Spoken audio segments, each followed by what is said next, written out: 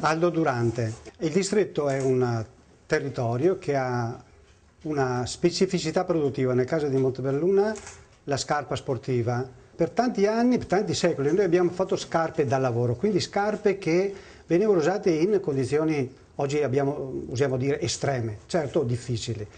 Eh, quando alla fine dell'Ottocento i primi cittadini che volevano uscire da ambienti che cominciavano ad essere inquinati, hanno cominciato a frequentare la montagna non per tagliare il fieno, ma per prendere l'aria buona, Montebelluna coglie questa opportunità, cioè le scarpe da lavoro diventano scarponi per la montagna.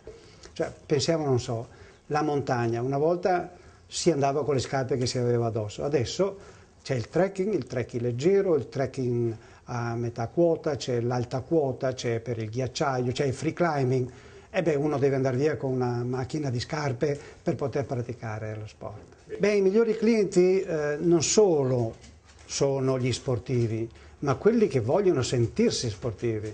Il turista che attrezzato di tutto punto con il suo macchinone eh, va dal, dal parcheggio al ristorante Ecco, diciamo che è un buon praticante di trekking e che quindi deve essere eh, attrezzato all'uopo, come si dice. Sempre per lo scarpone da sci la grande innovazione è stata eh, la plastica.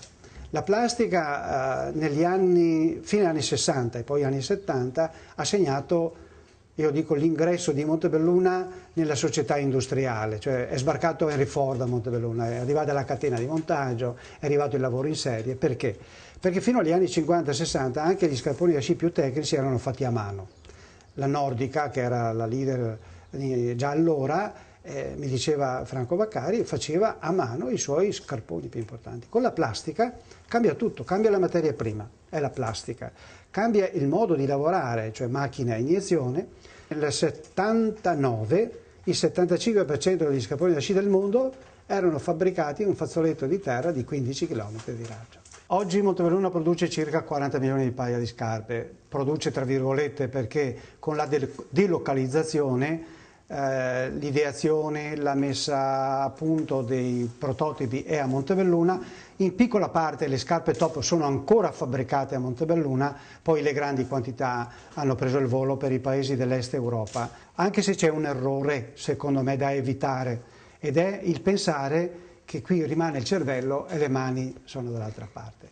In realtà io lo scrivo da tanti anni anche le mani sono intelligenti, ma se uno ha perso le mani ha perso anche il cervello. Eh, lo sport è un'attività nella quale si praticano dei movimenti in forma estrema, grandi sollecitazioni, temperature, uso di materiali.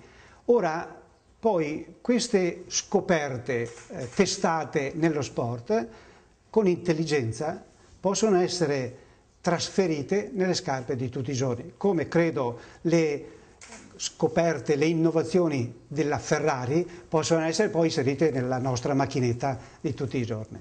Esistono concentrazioni di produzione di scarpe sportive, che so, da tennis, da calcio, in certi siti, ma non credo che esista un sito al mondo in cui vi è una pluralità di eh, calzature sportive a livello mondiale, cioè Qui abbiamo la scarpa da montagna, lo scarpone da sci, le scarpe per tutte eh, le scarpe tecniche e gli sport tecnici, tutti un'area di pochi chilometri quadrati. Quindi una delle forme oggi di dialogo tra le nazioni è più lo sport che la politica addirittura della cultura, perché nella cultura eh, c'è la lingua diversa, la mia lingua vale più della tua.